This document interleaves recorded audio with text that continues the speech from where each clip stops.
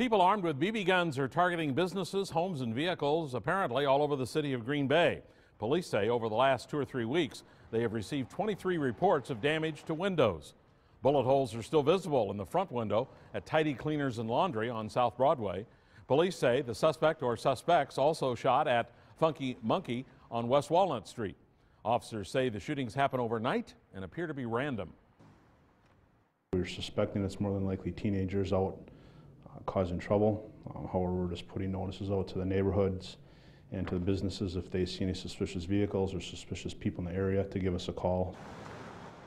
Police say no one's been injured. However, there has been thousands of dollars in property damage.